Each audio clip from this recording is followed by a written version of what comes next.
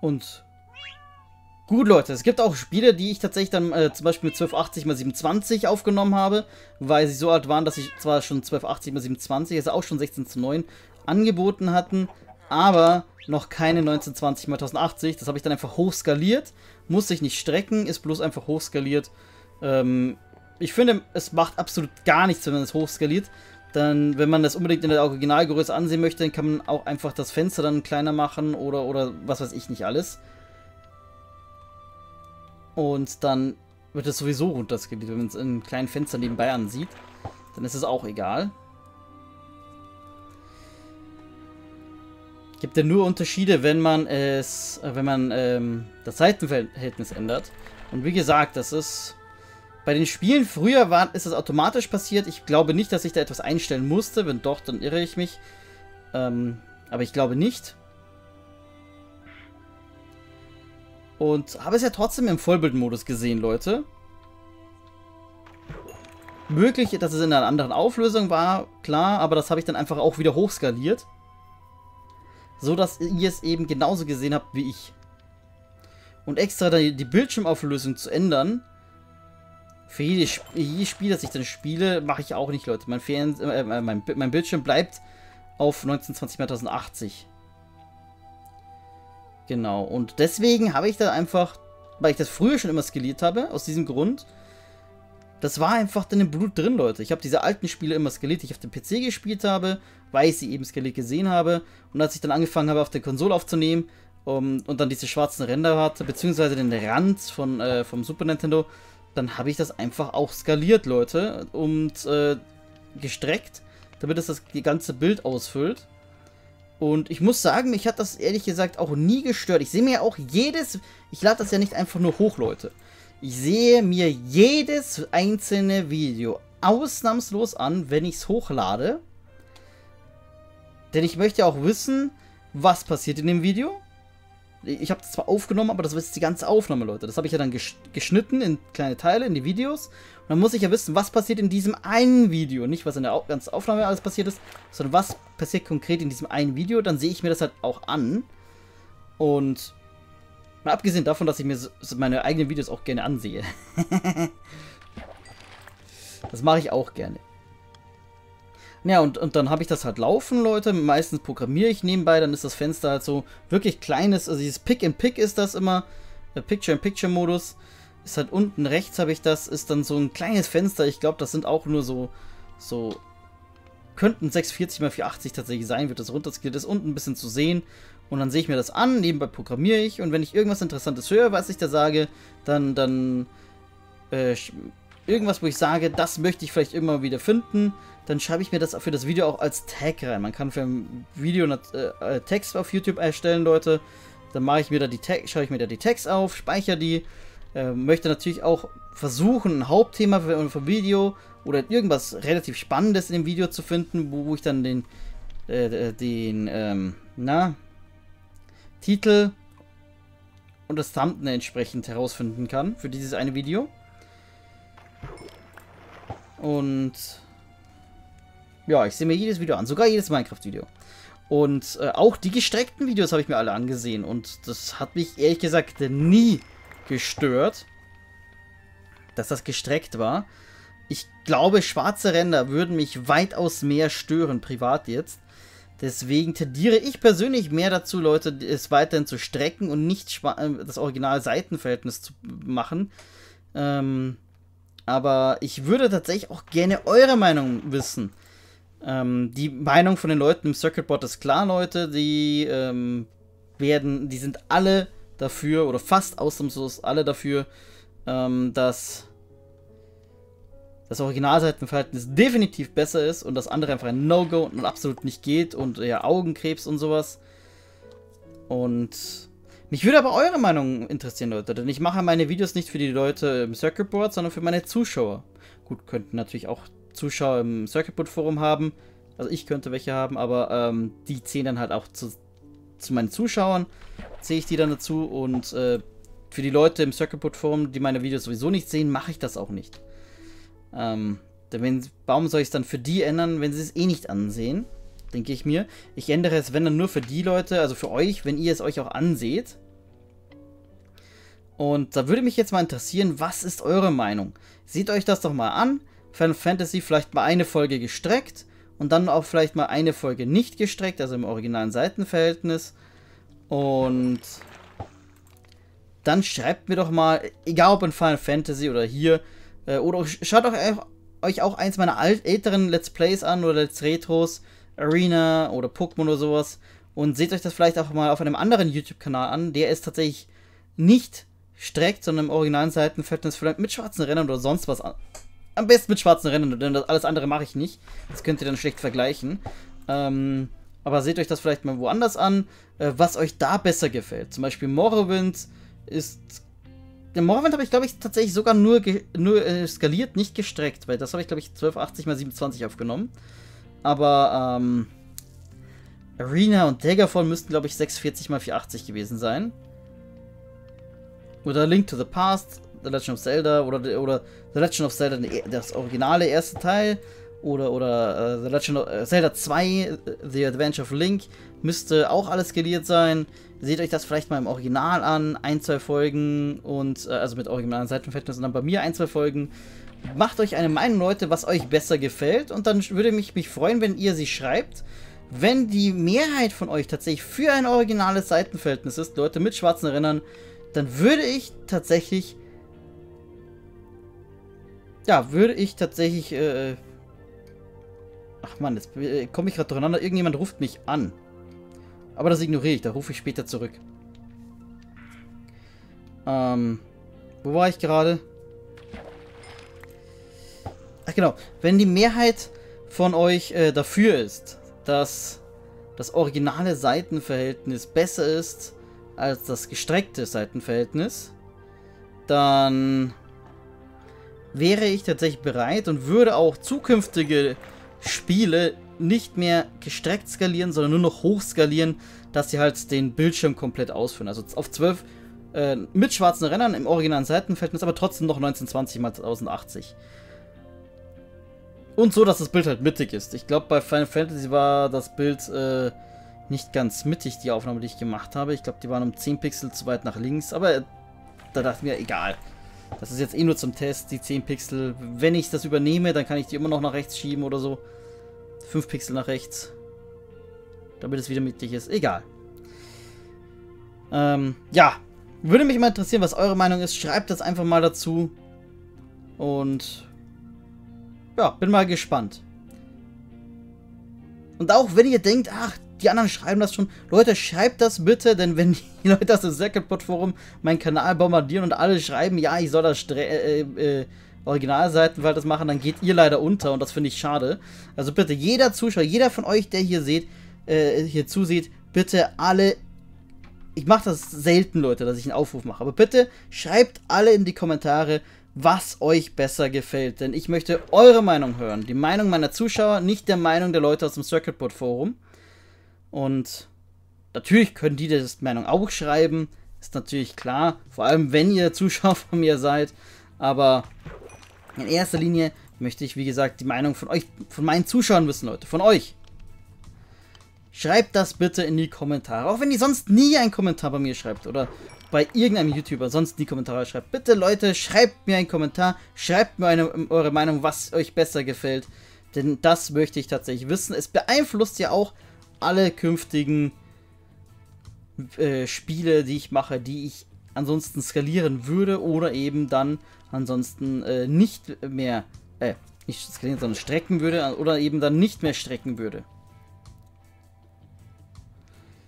Also das ist schon wichtig. Also bitte schreibt da und ja.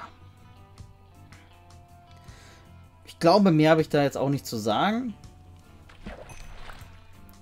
Deswegen würde ich sagen, ist das jetzt beendet. Also und das Thema und ich bin gespannt, welche Kommentare ihr mir, was eure Meinung ist. Bin ich gespannt. Und wie gesagt, ich habe das auch kurz im Final Fantasy Stream angesprochen. Ich glaube, ich werde es auch im nächsten Stream vielleicht ansprechen, zumindest Leute, zumindest wenn ich Oh, sehr schön. Vier Seerosenblätter. Zumindest wenn ich Minecraft oder sowas streame. Irgendwas, wo man gut reden kann. Dann werde ich das, glaube ich, auch machen. Einmal mal, das müsste auch hier sein. Ja, genau.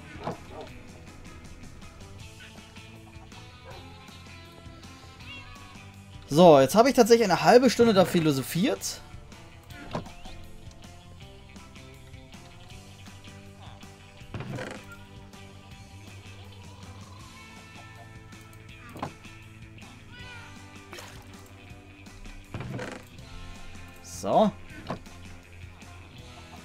Der wäre noch nicht mehr voll. Aber egal, ich finde das so auch schön.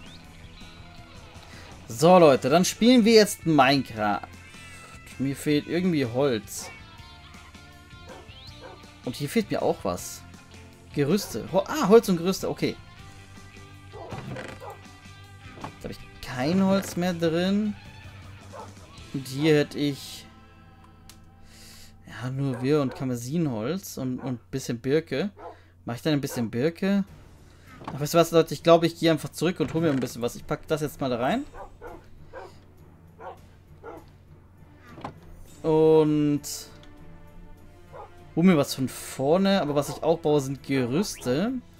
Die habe ich hier irgendwo.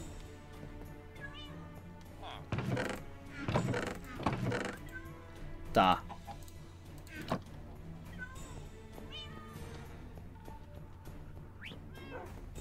Es ist schon wieder dunkel.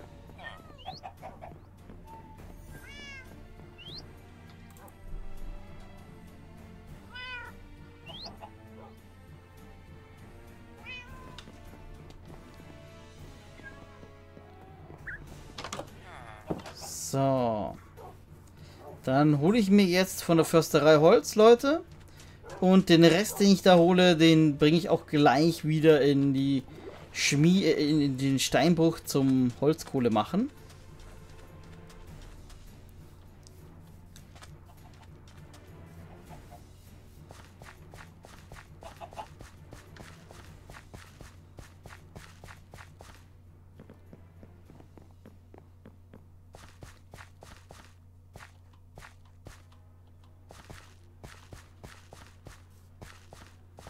So, irgendwie ruckelt es immer noch. Ich finde das schön, dass hier so viele Bienen sind. Wie einfach abhauen. Ich hoffe, die fliegt wieder zurück. So, also, was haben wir Holz? fangen wir hier an, Leute. Alles Holz, was wir haben. Und was wir hier finden.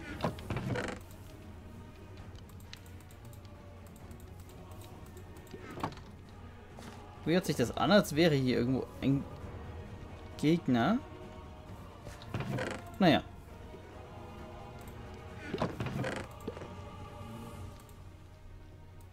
Vielleicht auch Holzbretter. Ich glaube, Holzbretter nehme ich auch mit. Habe ich hier noch Holzbretter? Nein.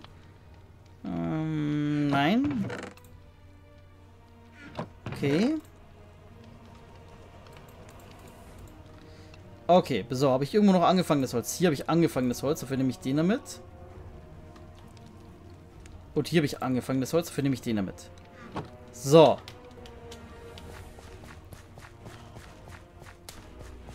Da packe ich jetzt dann alles bis auf 1 in den Ofen, Leute. Und zwar das, wo wir am meisten haben. Moment mal, eigentlich möchte ich gar nicht alles in den Ofen werfen.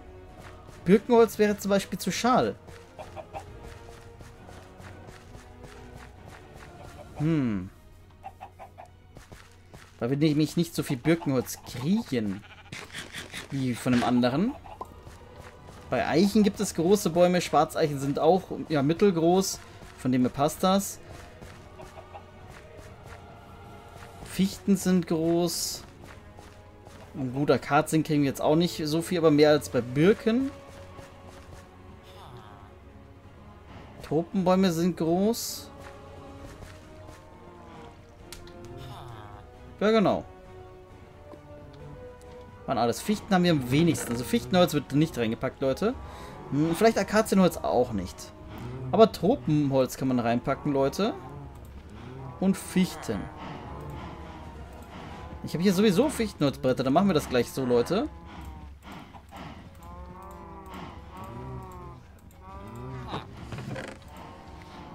So, okay.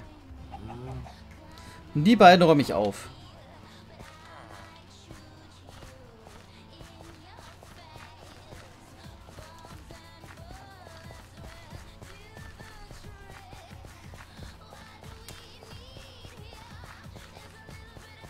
So, irgendwie glaube ich aber, dass ich das Holz gerade falsch reingepackt habe.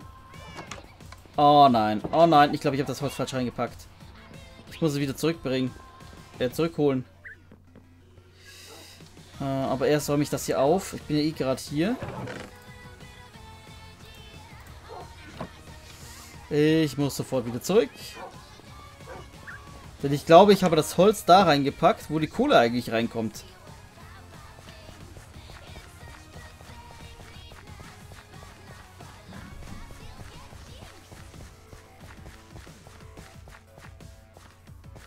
Das wäre nicht schön. Das Holz muss ja eigentlich da rein. Ist auf Stein und ich hab's, ich hab's da reingepackt, Leute. Es müsste eigentlich hier rein. So, da sind ja sowieso Trichter. Holen wir uns das Holz wieder. Und die kommen von da unten, glaube ich.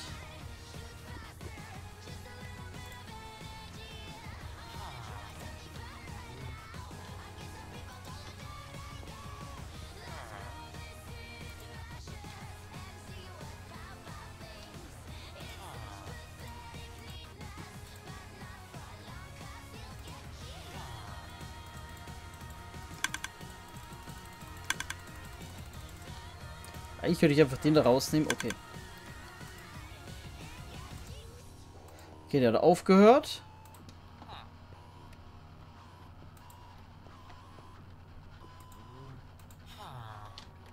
Es wird tatsächlich schon hier irgendwo reingepackt, Leute.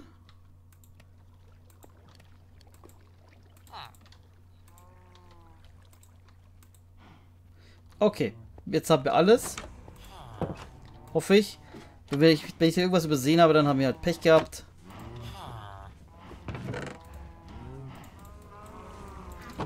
So, und das wird jetzt gebrannt, Leute. Und dann kriegen wir jetzt hier Kohle. Holzkohle. Und die können wir beim nächsten Mal dann da rein, wieder in den Holzkohleschacht packen.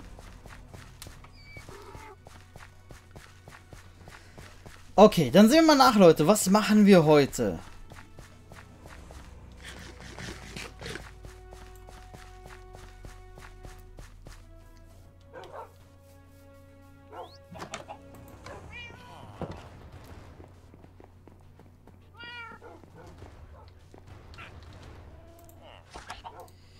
So, wir haben 1, 2, 3, 4, 5, 6, 7, 8, 9, 10, 11, 12, 13, 14, 15, 16, 17, 18, 19, 20, 21, 22, 23, 24, 25, 26, 27, 28 Punkte. So, was wird es werden, Leute? Es ist die 19. 1, 2, 3, 4, 5, 6, 7, 8, 9, 10, 11. 12, 13, 14, 15, 16, 17, 18, 19. Die Tintenfischfarm. Okay, Leute, ehrlich gesagt weiß ich gar nicht, ob ich die Tintenfischfarm machen möchte. Also die ist eventuell obsolet. Denn eventuell kriegen wir bei der Wächterfarm auch Tintenfische. Wir haben ja schon gesehen, dass in der Wächterfarm äh, nicht Leuchttintenfische spawnen können. Jetzt, wo die Wächter da nach unten fallen in das Loch. Und ich glaube auch, dass normale Tintenfische dort spawnen können, wenn da schon Leuchttintenfische spawnen können. Und auch in die Falle fallen können. Das heißt, in meinen Augen sind momentan Tintenfischfarm und Wächterfarm derselbe Punkt, Leute. Aber ich lasse ihn mal noch drin. Das heißt, die Wächterfarm hat tatsächlich eine doppelte Wahrscheinlichkeit äh, genommen zu werden. Denn ich weiß noch nicht, ob es auch wirklich so ist. Ich würde jetzt die Wächterfarm gerne tatsächlich erstmal äh, in Betrieb nehmen. Und dann, wenn wir dann das mal ein bisschen mal laufen haben und vielleicht mal eine Doppelkiste voll haben, sehen wir ja, was kriegen wir alles an äh, Kabeljau von den, Wächter, äh, von den Wächtern, an, an äh, Prismarin-Scherben von den Wächtern, an Leuchttintenbeutel von Leuchttintenfischen und an Tintenbeutel von Tintenfischen. Und dann können wir ja äh, sehen wir ja, ob das in Ordnung ist und die Wächterfarm als Tintenfischfarm auch geht, Leute. Dann würde ich die Tintenfischfarm streichen. So, das heißt, wir machen heute bei der Wächterfarm erstmal weiter. Wenn das so nicht funktioniert, Leute, dann muss, die Tinten, muss trotzdem eine eigene Tintenfischfarm gebaut werden. So.